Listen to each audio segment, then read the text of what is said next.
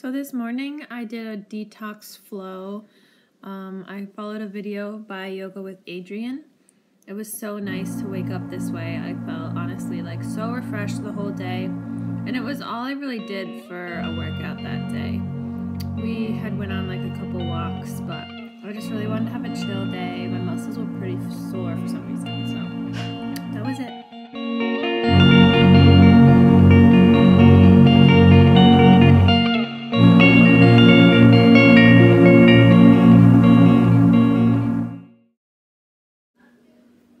So for brunch, I made a baked grapefruit. I don't know if anyone's ever done this before, but it's honestly so good.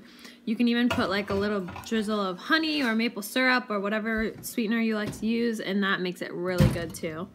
Um, put it on a low to high broil just for like five minutes. It's perfect.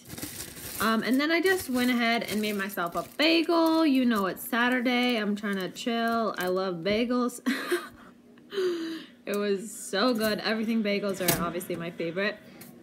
And then I just put, um, I was going to put an avocado on it as well as this new veggie like cream cheese like spread that I found at the grocery store. It's like mostly coconut oil, some other stuff. And then I was just going to put some tomatoes on top as well.